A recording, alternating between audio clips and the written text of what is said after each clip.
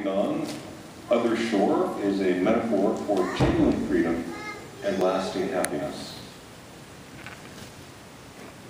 Again, the symbol of the other shore, Ohigan, was used to name the Buddhist service held uh, at the time of the vernal and autumnal equinoxes. And uh, first held only in Japan. This is a Japanese Buddhist service. Every school of Buddhism that comes from Japan observes Ohigan, but other uh, denominations do not. This uh, was organized in the 6th century by uh, the Prince Shotoku, the regent of Japan, uh, as he had received the Korean emissaries who officially transmitted Buddhism to Japan, although it had already been there for some centuries, but a rather small time. But with the uh, official reception of the Korean emissaries by Prince Shotoku Taishi, this was the real uh, flowering of Buddhism in Japan, and they, the Korean monks, arranged uh, Prince to do this brand new service, the Ohigan service.